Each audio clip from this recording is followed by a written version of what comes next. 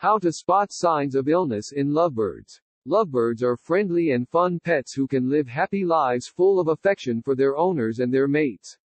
Lovebirds are hardy, so keeping them healthy isn't typically a chore, but it is still important to monitor them for signs of illness. If you notice any major changes to your lovebird's appearance, behavior, or habits, contact your vet immediately. Since lovebirds are prey animals, they will hide their symptoms until they are very ill. Remember, it's always better to be overcautious when your pet's health is in question, finding physical symptoms.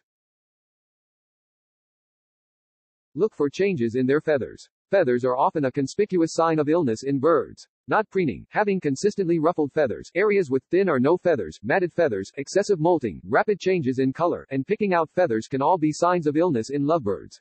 Any of these symptoms individually is concerning. If you notice even one of these, contact your avian vet immediately. Consistently puffed up feathers, combined with lethargy, is usually the first sign of illness in a lovebird. If you notice these symptoms, take your bird to the vet immediately. Any of these symptoms individually is concerning. If you notice even one of these, contact your avian vet immediately. Consistently puffed up feathers, combined with lethargy, is usually the first sign of illness in a lovebird.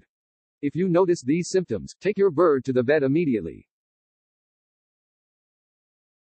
Check their beak. Problems with the beak can indicate any number of problems, including the critical psittacine beak and feather disease PBFD.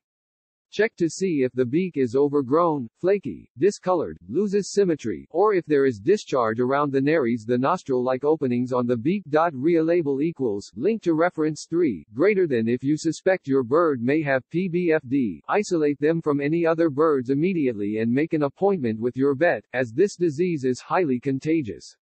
Sick birds and new birds should always be quarantined away from other birds.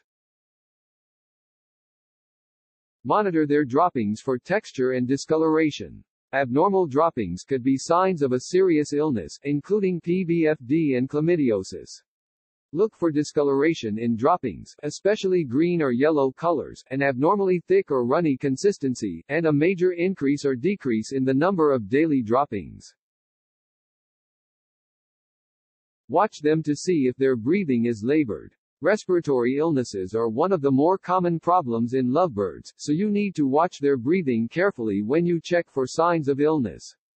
Difficulty breathing, breathing through an open beak, wheezing, trouble breathing while flying, and sneezing could all indicate respiratory problems, a serious sign of illness. Difficulty breathing is a critical symptom in most birds. If you notice any respiratory symptoms contact your avian vet immediately or take your lovebird to your closest animal hospital. Difficulty breathing is a critical symptom in most birds. If you notice any respiratory symptoms contact your avian vet immediately or take your lovebird to your closest animal hospital.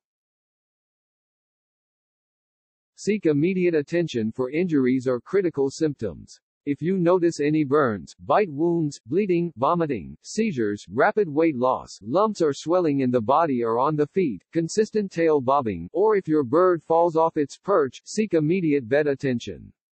These are critical symptoms that indicate that your bird needs immediate medical attention.